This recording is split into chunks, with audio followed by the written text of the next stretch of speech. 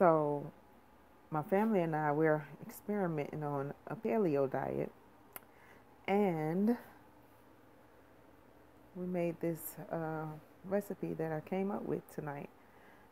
Um, it's a fajita, paleo fajita with green peppers, red onions, and squash. The yellow squash is in there somewhere. And that's chicken breast. And we didn't use the fajita sauce. We used uh, salsa instead of fajita sauce. And this is the chicken breast. The chicken breast is uh, was made on a grill, so we have enough for tomorrow.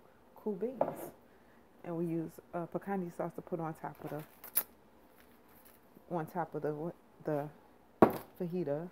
This is our mushrooms we use, and gluten-free wraps. Tastes good, and this is the fit and active cheese, Mexican cheese. Yeah. Pretty good. It was awesome. Taking pictures right here. So, a new life, new way of eating. It's olive oil that you fry everything down with.